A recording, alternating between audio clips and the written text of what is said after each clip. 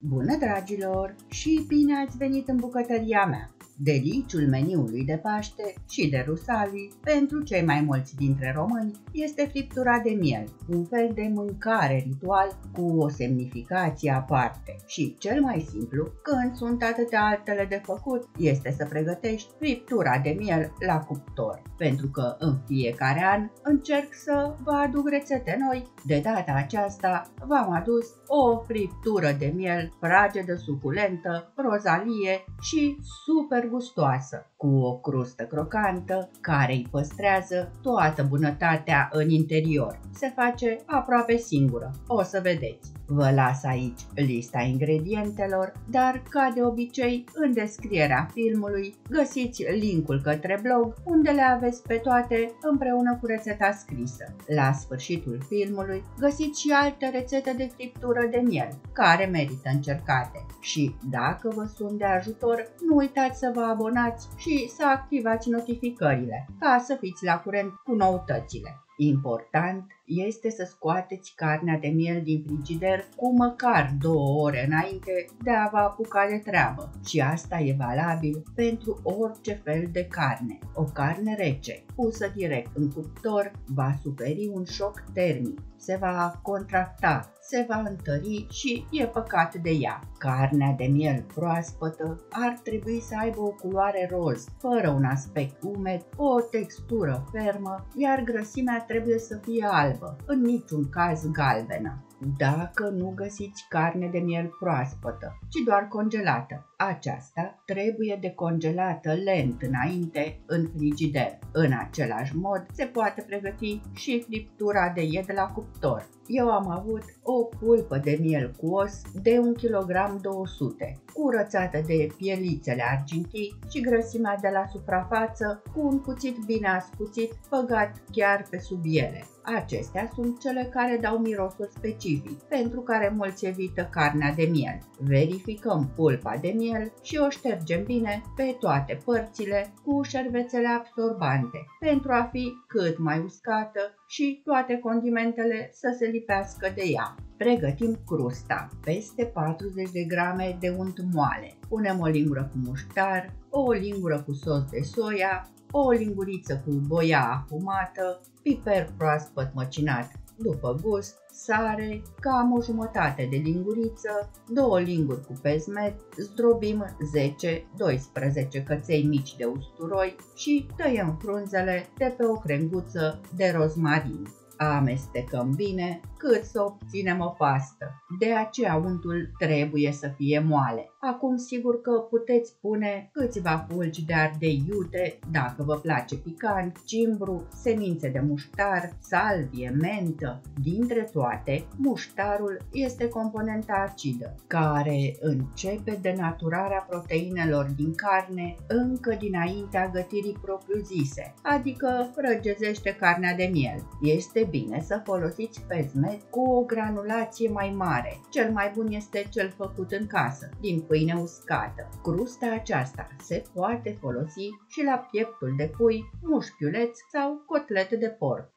Așezăm pulpa de miel pe un grătar așezat deasupra unei tăvi. Dacă nu aveți o tavă cu grătar, puteți folosi grătarul cuptorului, pus deasupra unei tăvi, sau puteți să așezați carnea de miel pe un pat de ceapă, morcov, tije de țelină, acoperim pulpa de miel uniform pe toată suprafața, pe toate părțile, cu pasta, crema tarchinabilă făcută și o lăsăm să stea la temperatura camerei, acoperită o oră, întoarsă cu partea frumoasă în sus așa o să o punem în cuptor. Între timp, încălzim cuptorul. După o oră, punem în tavă, pe lângă pulpa de miel, o lămâie tăiată în jumătăți și câteva crenguțe de rozmarin, care vor da aromă fripturii. Nu este nevoie să adăugăm nimic altceva în tavă, apă, vin sau supă. Eu am pus doar o hârtie de coc ca să o curăț mai ușor. Nu este nevoie să acoperim friptura. Șmecheria, ca să zic așa, este crusta, pasta cu care am acoperit carnea. Aceasta ține toate sucurile din carne în interior și, în același timp, o și protejează la suprafață. Practic, se coace în suc propriu și oasele ne ajută, ele fiind bune conductoare termice.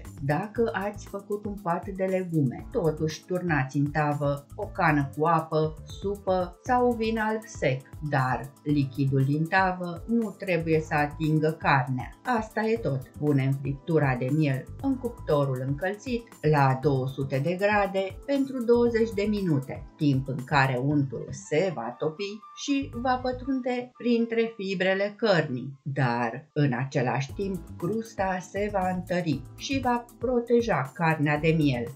După 20 de minute, cădem temperatura cuptorului la 170 de grade și mai lăsăm friptura de miel la cuptor încă o oră, o oră și jumătate. Asta depinde de dimensiunea pulpei de miel. Vedeți că deja carnea s-a desprins de pe os. Ca să știți când este gata, cel mai simplu este să folosiți un termometru pentru carne, introdus în partea cea mai groasă a bucății de carne. Fără a atinge osul, temperatura internă trebuie să fie de 55-60 de grade Celsius pentru o friptură de miel în sânge. Pentru un miel medium rare, carnea e încă roz, iar sângele nu se mai scurge deloc, termometrul trebuie să arate 60-65 de grade Celsius, 65-70 de grade pentru medium, iar pentru o friptură de miel bine făcută trebuie să fie de 70-75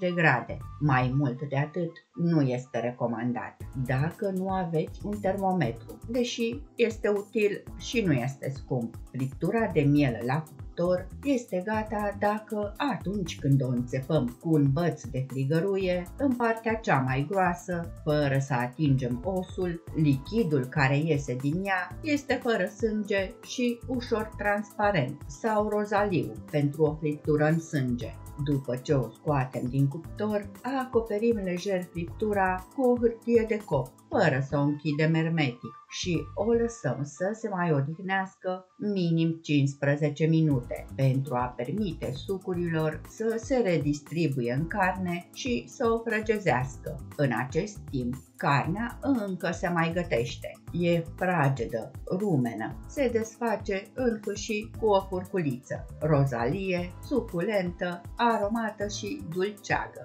servim friptura de miel caldă cu o salată verde, o salată de cartofi sau de morcov sau cu un sos de usturoi și aur. Se potrivește bine și cu un piure de mazăre, de cartofi, de păstârnac, de cartofi dulci, legume la grătar, la cuptor sau fierte la abur, dacă mai rămâne. Se păstrează în frigider într-o caserolă închisă hermetic 3 zile. Merge bine în sandvișuri. Să vă fie de folos. Sper să o încercați și vă aștept în comentarii să-mi spuneți cum v-a ieșit sau dacă aveți întrebări. Până la o nouă rețetă, să aveți zile delicioase și spor la bucătării. Numai bine!